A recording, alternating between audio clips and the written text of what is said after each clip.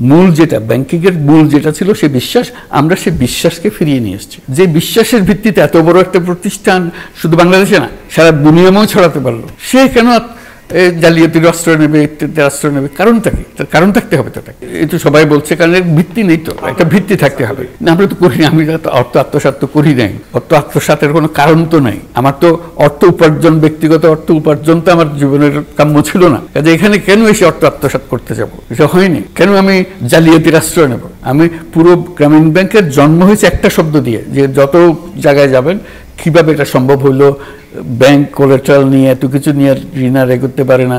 আপনি কিছুই না নিয়ে, কোনো কোলেটাল নিয়ে না নিয়ে, এটা কি ব্যাংকিং করলেন এটার ভিত্তিটা কি? আমি মাথা চুলকিয়ে নিজেকে জিজ্ঞেস করি ভিত্তিটা কি আসলে? তা আমি একটা সমাধান দিয়েছি, সে শব্দটা সারা জীবন ধরে বলে যাচ্ছে, এটা হলো বিশ্বাস ট্রাস্ট পুরো জিনিসটা হলো একটা ট্রাস্ট আমাদের ব্যাংক এর যে ক্রেডিট এই যে শব্দটা ক্রেডিট শব্দটা, এই ক্রেডিট শব্দটার অর্থই হলো ট্রাস্ট আমরা বলছি এই ট্রাস্ট শব্দটার, এই ক্রেডিট শব্দটাকে নিয়ে এটা উল্টো কাজটা করেছে ডিস্ট্রাস্ট এন্টায়ার ব্যাংকিং সিস্টেম হলো ডিস্ট্রাস্ট তোমাকে আমি বিশ্বাস করি না।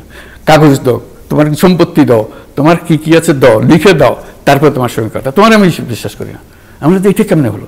মূল যেটা ব্যাংকিং এর মূল যেটা ছিল সে বিশ্বাস, আমরা সে বিশ্বাসকে ফিরিয়ে নিয়ে এসেছি। এই বিশ্বাসের ভিত্তিতে এটা করেছে।